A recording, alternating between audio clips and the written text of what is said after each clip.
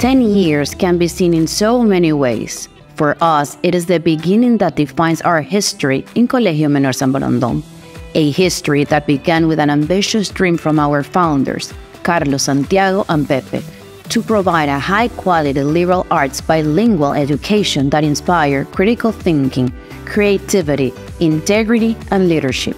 This dream was possible thanks to 25 members of the staff that in 2013 embarked on this adventure, truly believing in this new educational vision.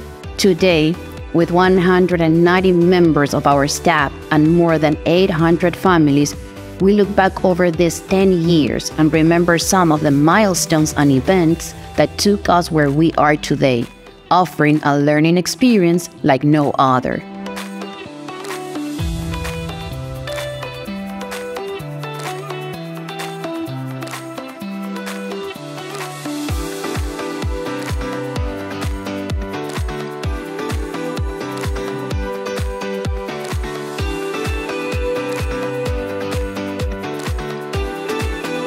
We are extremely thankful to everyone that made this possible. We are an amazing group of co workers and families guided by a strong set of values that are passed on to our students by showing them care, respect, and support every day.